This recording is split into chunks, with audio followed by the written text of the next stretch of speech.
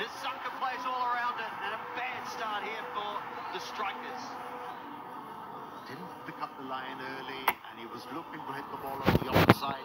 Left a huge gap between bat and pad.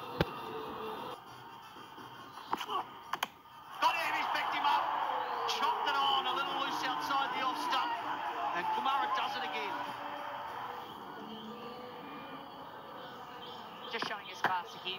Kumara, genuine wicket taker, has the ability to hurry any batter up in the world. He's got pace, he's got bounce, and it is the big one.